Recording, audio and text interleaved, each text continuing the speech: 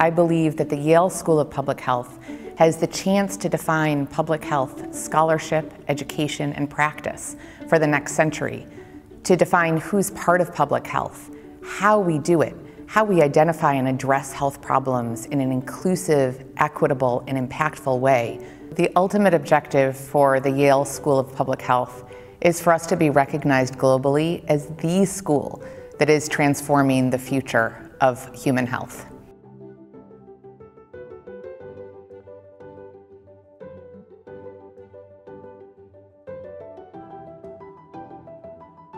I see there being four pillars of a school of public health that defines the future of our field.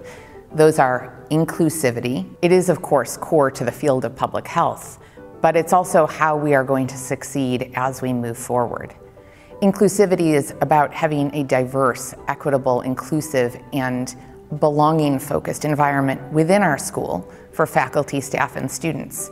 But it's also about being inclusive of community voices, of lived experience, of folks who we may not traditionally think of as being part of public health at all. Innovation and entrepreneurship, making sure that we're set up to make sure that public health innovations can thrive in either for-profit or not-for-profit environments. The third pillar is around communication. As we learned all too well during COVID, it's essential for all of us, students, faculty, and the world at large, to know how to communicate about public health and scientific knowledge. The last pillar that is essential for us as we move forward into the public health school of the future is around data-driven leadership. That's the ability for us to use our disciplinary skills to identify problems, gather data sets to look at the details, and then figure out what to do next. Public health is only as good as the action that we take at the other side, the impact that we have on the health of our local community as well as the nation and the globe. Those are the skills that we have to impart in our students, but also that we as faculty and staff and alumni need to be dedicated to.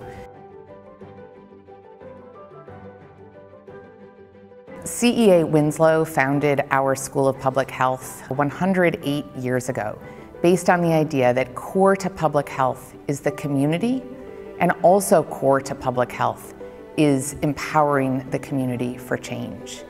That's one of the philosophies that informs my leadership style in general, informs my decision to assume the deanship here at the Yale School of Public Health, and that is core to our function as a School of Public Health. But going forwards, it is incumbent on us to do more. Public health only succeeds when we have the public at its core, when we listen to, partner with, and sometimes are led by the needs of the communities in which we work.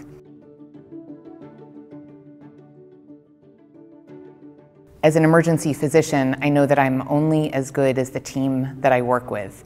And so my commitment as a leader is to making sure that everyone on my team is set up for success, knows what their role is, and is empowered to do everything that they can for the greater good.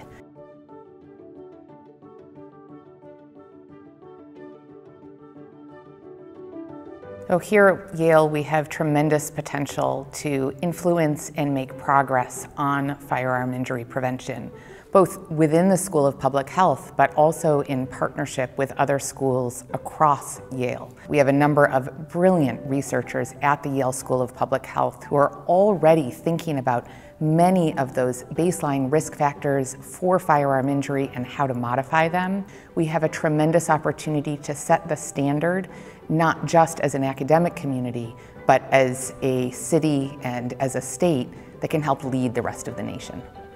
Thank you from the bottom of my heart for your commitment to the Yale School of Public Health.